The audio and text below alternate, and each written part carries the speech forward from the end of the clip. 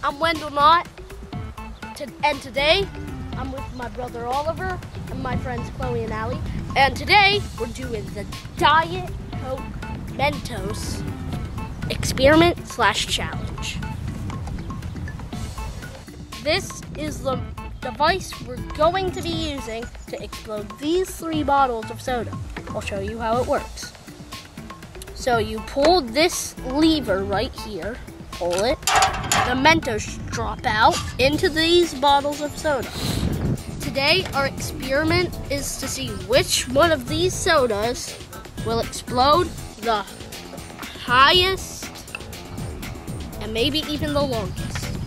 I'm screwing this in place. Screw it in. Guys.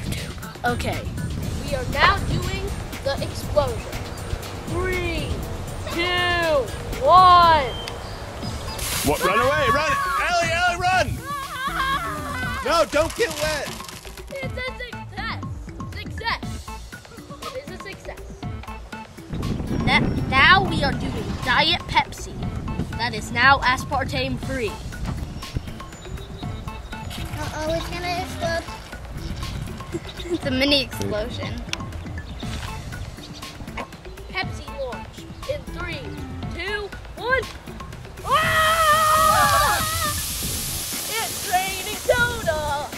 Out of the sky. Soda. no need to ask why. Now it's time for the big daddy. Are you ready, kids? Yes. Let's go.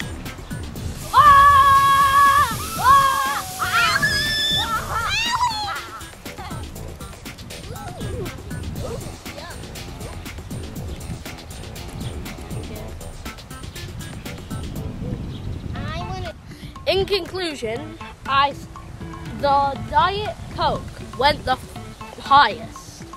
It it was the highest out of all the brands. That was and thank you for watching.